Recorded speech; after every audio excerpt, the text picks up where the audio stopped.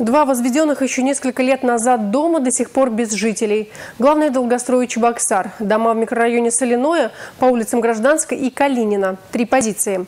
У обманутых дольщиков последнего появился шанс получить ключи от квартир до конца этого года. Оптимистичные заявления прозвучали на пресс-конференции в мэрии Чебоксар.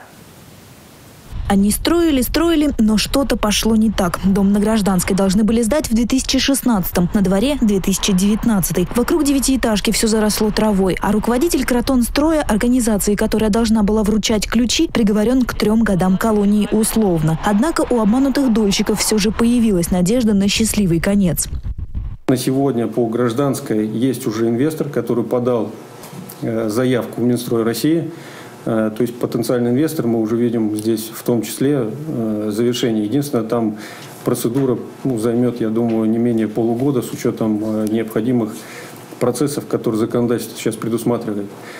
На директора Алзы, который начал возводить многоэтажку в Соляном, тоже заведено уголовное дело. Он находится под домашним арестом. А бывший руководитель Победы, строивший дом на Калинина, подозревается в мошенничестве в особо крупном размере. И тут не все так просто. Юридическая коллизия. Трансформаторная подстанция оказалась оформлена не на ООО «Победа», а на ООО «СК Победа», которая не имеет отношения к строительству дома, но принадлежит учредителю обеих компаний. Администрация города уже обжаловала права собственности в суде, чтобы передать эти земли застройщику в лице лице конкурсного управляющего Ивана Ергунова. Его назначил суд, он занимается возвратом средств для достройки дома. 18 миллионов уже нашлись.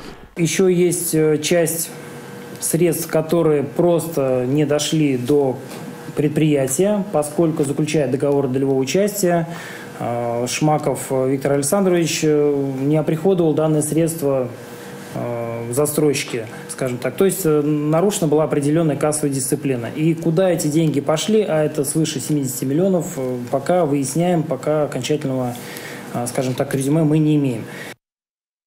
И все же именно насчет дома в ЖК «Воскресенская горка» по улице Калинина в администрации высказывали самые оптимистичные предположения разработаны дорожной картой. Мы планируем, что в этом году э, это возможно решить. Степень готовности там высокая. Есть, как я озвучил, ряд незавершенных работ. Это э, трансформаторная подстанция, то есть наполнение ее внутри. Это лифт, э, это вот парковки как раз, которые должны размещаться были. Ну, собственно говоря, практически все. Сменить статус обманутых дольщиков на счастливых новоселов – задача непростая, но все же решаемая, считают в мэрии. Ирина Волкова, Павел Иритков, Республика.